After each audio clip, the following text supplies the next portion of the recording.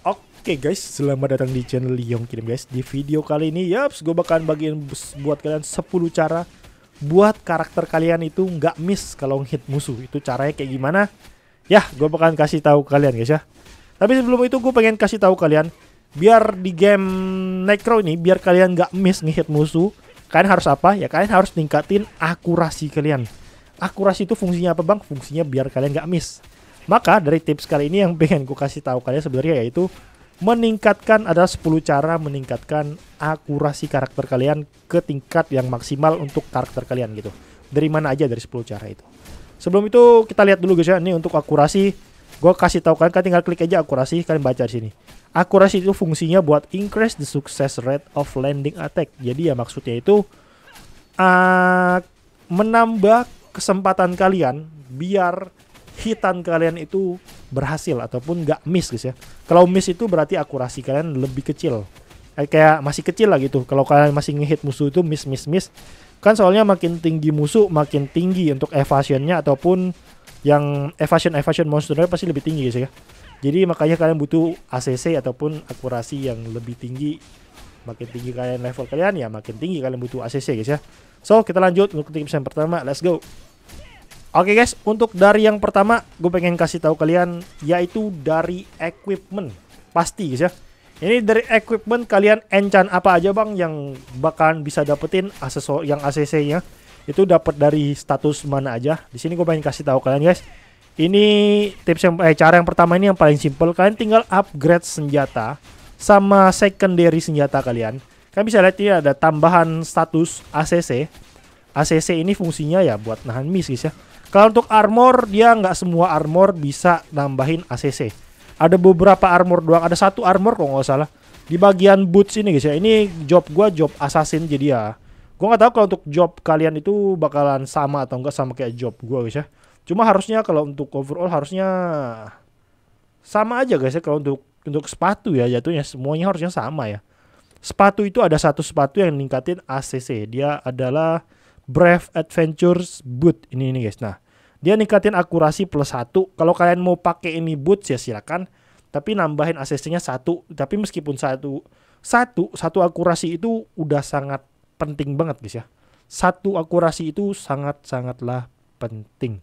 Oke guys, gue ingetin. Cuma kalau kalian nggak mau pakai ya silakan. Kalau di sini gue nggak pakai guys ya.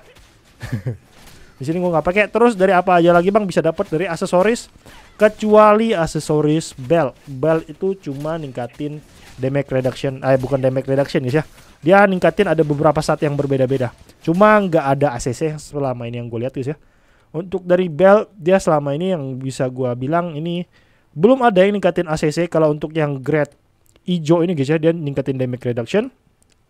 Wake semua, pokoknya yang kayak gitulah. Nggak ada ACC. Uh, eh, gue nggak tahu nih kalau makin tinggi ini makin ada nih guys ini ada status dex nih. Dex 30 XTR itu harusnya bisa ningkatin buat nambahin ACC cuma kalau untuk yang grade hijau untuk saat ini belum ada. Untuk yang dari belt ya.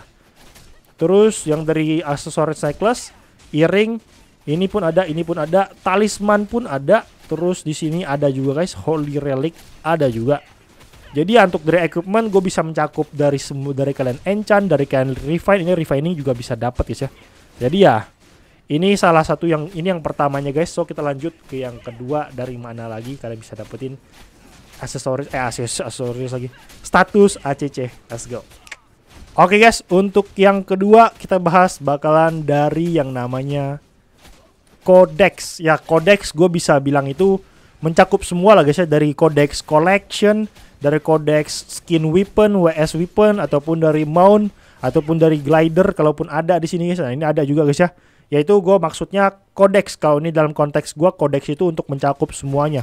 Jadi ya makin tinggi codex kalian itu makin ada status yang ningkatin ACC guys ya. Di samping ningkatin ACC biasa, PVP ACC, eh, PVE ACC, PVP ACC, melee ACC juga ada untuk di dalam bagian di kodeks ini guys ya. Cuma yang pengen ku kasih tahu kalian ini yang paling simple buat kalian dapetin ACC gratis guys ya ataupun akurasi gratis itu dan craftingnya juga gampang.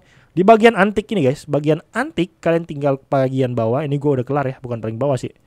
Ini cara dapetinnya kalian tinggal crafting Captain Treasure Map. Ini materialnya gampang kalian bisa lihat guys ya. cuma butuh rock letter 2 dan gold 30.000 kalian crafting aja di bagian sini guys ya. Di bagian normal craft terus cari bagian antik. Nah di sini nih. Kalian tinggal klik di bagian sini. Nah kalian bisa crafting ini guys ya. Kalau yang ini ya gue nggak gue nggak merekomendasikan kalian karena ini butuh yang namanya Morion. Kalau kalian memang mau nge-save Morion kalian uh, lebih baik kalian jangan dulu untuk dipakai guys ya. Kalau memang kalian masih butuh Morion karena itu Morion kalau untuk saat ini masih kepake lah buat kalian guys ya. Jadi saran gue cukup crafting yang antik yang itu lah guys yang awal itu. Cuma kalau kalian udah late game ya silakan kalau kalian mau crafting. Di sini tips gua masih untuk yang ya menengah-menengah untuk pemula menengah lah guys ya. Jadi ya itu yang tips kedua dari Codex Collection, Codex dari Mon. Dari Mon sini ada juga guys ya nih. Bisa ningkatin PvE asesor ACC akurasi terus dari sini juga bisa. Pokoknya yang kodeks itu tidak mencakup semuanya guys. Itu pasti ada yang namanya PVE PVE ACC ataupun PVP ACC ataupun melee ACC dan lain-lain yang, yang bersangkutan dengan akurasi guys ya. Jadi ya tenang aja. Untuk akurasi dari kodeks kalian bisa dapetin. Itu yang kedua. So yang ketiga ini mulai lumayan oke okay guys ya. Kita masuk ke yang ketiga. Let's go. nah oke okay guys. Untuk yang ketiga ini sebenarnya common banget. Udah kayak kalian udah pasti bakalan tahu loh mungkin kalau kalian nggak tahu mungkin karena kalian belum sadar aja itu dapatnya dari mana aja. Yang ketiga ini yang bisa gue kasih tahu ke kalian dari buff food dan buff potion. Itu kalian paling simpelnya bisa dapat dari situ. Simpelnya itu kenapa gue bilang ini? Buff yang bisa kalian beli di bagian merchant biasa. Ini bisa kalian dapetin dari merchant-merchant sundry yang di map-map biasa guys ya. Cuma bayarnya pakai gold. Ini dapat buff ACC plus 4 dan plus defense 4 yang, yang kita cari kan ACC jadi ACC plus 4 itu udah gila banget ya mantep ya. Itu udah selama 10 menit itu udah lumayan banget. Terus dari sini juga bisa dapat dari Sun Battle Talisman. Kalian bisa dapetin dari merchant yang ada di Battlefront itu bagus banget. Dia bisa ningkatin 2 ACC PvE terus dari mana lagi bang? Dari sini juga ada dari Drag of Fight Lions itu bisa dapetin ACC plus 3 itu Jos Jos Marco Jos guys ya Terus dari sini juga beef steak ataupun yang makanan yang sesuai job kalian lah guys ya. Kalau gue kan job melee makanya gue ngambil beef steak yang di mana nambah nambahin melee akurasi melee damage guys ya. Itu dari buff foodnya, dari buff potionnya ada satu, dua, dan kira-kira ada tiga lah guys ya. Ini gue sebut potion nah padahal ini talisman guys ya sebenarnya. Cuma ya intinya ada potion, ada food itu buff yang penting banget untuk kalian ningkatin ACC kalian. Di sini kalian bisa lihat ACC gue ini sekarang pas 41 ya gara-gara gue pakai buff guys. Kalau nggak pakai buff ya palingan ACC gue cuma plus 133 untuk di sini palingan sering miss harusnya. Cuma karena gue pakai buff ini jadi missnya berkurang guys ya. Karena ini juga dungian yang gue masukin lumayan tinggi untuk yang level 40 nah itu yang ketiga. Kita lanjut ke yang keempat. Let's go. Oke guys, untuk yang keempat dari mana bang? Dapat ya? Dari empat ini sebenarnya simple guys ya. Kalian bisa dapetinnya itu dari skin weapon. Skin weapon apa aja itu pasti ada nambahin akurasi ya. Mau itu akurasi kalau job gue kan job melee ataupun dagger ataupun yang gue pakai ini lagi job rogu jadi ya. Kalian bisa lihat ini ningkatin melee aksesoris. Makin tinggi grade-nya makin bagus, makin gede ACC melee-nya guys ya. Kalau sini gue pakai yang biru dapatnya 13, kalau kalian yang ungu dia berbajam sih. Ini yang 23. Terus ada yang 25 nih ini. Pokoknya makin tinggi grade kalian ya makin makin gede lah ACC ataupun akurasi kalian guys ya. Jadi ya makin chance buat kalian miss itu makin kecil. Jadi ya makin bagus skin senjata kalian ataupun makin tinggi grade senjata kalian makin bagus. Itu dari yang keempat, kita lanjut ke yang kelima. Let's go. Oke, untuk yang kelima udah pasti dari Mount guys ya.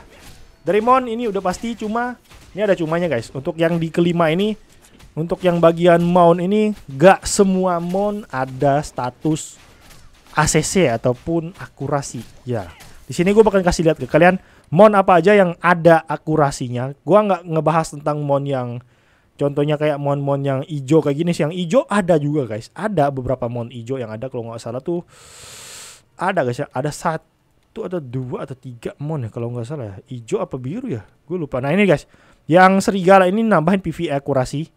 Ini ya gue rasa ini cuma dari PVE akurasi yang dari si serigala ini.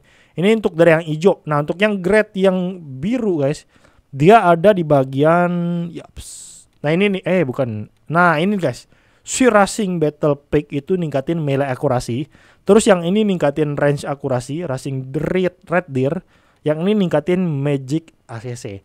Untuk yang bir ungu dia nggak ada guys. Untuk yang ungu nggak ada sama sekali buat ningkatin akurasi ya. Bukan berarti jelek guys ya. Bukan berarti mon ungu ini jelek. Ya bagus, stat mereka tinggi guys. Karena ya tapi ya nggak ada yang namanya status uh, status akurasi. Tapi nggak masalah. Kayak udah dapet ini juga udah udah mantap lah guys ya kalau pakai mon ungu ya. Nah di samping itu kan dapat juga yang mon emas itu ada di bagian si Polar Bear naik ini guys. Jadi ningkatin PVP akurasinya. Eh PVP, PVP akurasi plus 4. Itu Jos kalau kalian memang yang suka PVP guys ya. Kalian bisa pakai yang seri, yang ini guys. Si ini nih beruang kutub ini guys. Dan juga yang udah pasti sih ini guys. Selama ini yang satu server, eh, server di game Nightcrow ini kayak baru tahu satu orang yang udah punya guys ya. Yaitu si Deddy Kim dia udah punya ini Mon yang ningkatin akurasi plus 4 ini udah gila mampus untuk Mon ini ya. Ini yang kelima, so kita lanjut ke yang keenam. Let's go. Yaps, oke okay guys, untuk yang keenam ini dari skill book. Oke. Okay. Skill book semua job pasti dapat untuk yang namanya ACC. Itu udah pasti guys, kalian sadar nggak sadar kan pasti udah dapat. Karena dari awal juga kalian pasti udah dapat untuk ACC kecuali kalau kalian yang nggak kelarin misinya ini gua nggak tahu guys ya kalian jalanin main quest kalian atau enggak ini dapat dari quest guys ya. Ini dari main quest kalian bisa dapat yang namanya buff precision. Buff precision ini ningkatin akurasi. Kalau kalian udah plus 2 ini guys, kalau udah maksimal 2 ini bakalan ACC-nya bakal ningkatin 4.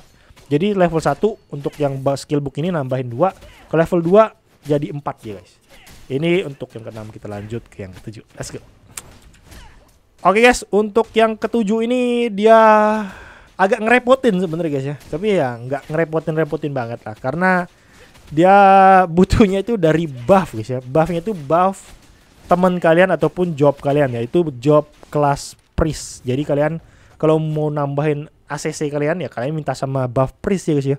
Kalian tinggal party sama priest ya tinggal minta bang di buffin dong gitu. Buffnya itu yang namanya brilliance. Nah ini guys. Buff brilliance ini ningkatin PvE akurasi plus 3 bertahan selama 5 menit itu oke okay, parah, jos mantap guys ya. Kalau kalian yang suka ini, suka PvE ataupun suka hunting monster ataupun mau grinding ya minta lah atau enggak minimal party lah sama Priest guys ya biar kalian di buff terus sama dia kayak gini nih. Kal tapi tanda kutip kalau Priest yang udah punya skill brilliant guys ya. Kalau yang belum punya ya nggak bisa punya kalian, nggak bisa dapetin buff PvE akurasinya guys ya. Ini untuk yang ketujuh, so kita lanjut ke yang ke-8. Let's go. Oke guys, untuk yang ke-8 ini cukup cukup cukup butuh effort yang sangat banyak ataupun kalian butuh duit guys ya. Karena kenapa gue bisa bilang kayak gitu? Karena kalian dapetin buffnya itu dari top up. Yang di mana itu daily benefit ini guys, yaitu Black Wing buff. Kalian bisa baca kalau kalian punya kalian beli ini guys ya, kalian beli ini, dia buffnya itu bakalan tersedia selama 30 hari dapetin buff plus akurasi plus 2 itu lumayan. Terus dapetin XP 20%, defense 2 itu lumayan. Samping itu kalian juga dapetin ini guys ya.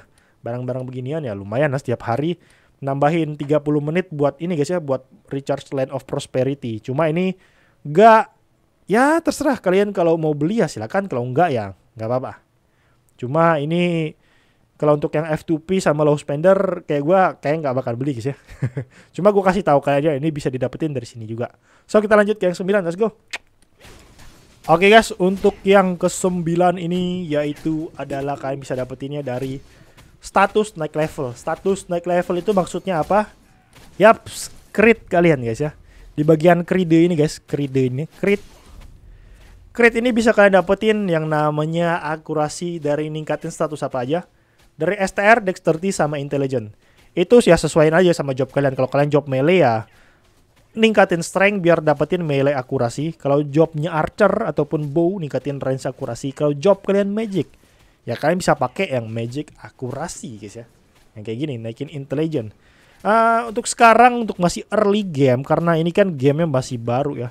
Jadi baru keluar. Jadi gue sarankan ke kalian mending untuk saat ini untuk sesuaiin sama job kalian aja guys ya. Naikin misalkan kalian job melee, fokus naikin strength, jangan naikin ini ini dulu. Kenapa? Karena Jatuhnya sekarang itu kalian perlombaannya itu perlombaan naik level dulu.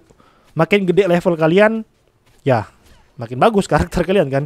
Jadi ya di samping itu di- karena itu guys kalian butuh yang namanya akurasi. Buat apa? Biar kalian ngehit monster itu gak miss. Jadi kalau kalian hunting ataupun grinding ataupun kalian lagi kelarin main quest itu kalian gak miss hitannya. Makanya gue sarankan kalian naikin ke strength ataupun dexterity ataupun intelligence sesuaikan dengan kelas kalian masing-masing.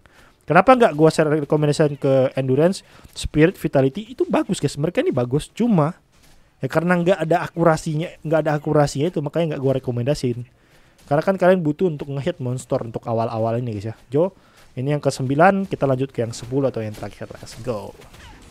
Oke guys, untuk yang ke 10 ini kalian harus minimal level 30 dulu baru bisa buka untuk dapetin status akurasi yang bisa kalian dapetin dari ini guys yaitu dari Infuse. Yaps, ini setiap tiga level 30 ini kebuka di level 30 yang awal, terus yang kedua ini kebuka di level 40 kalau nggak salah.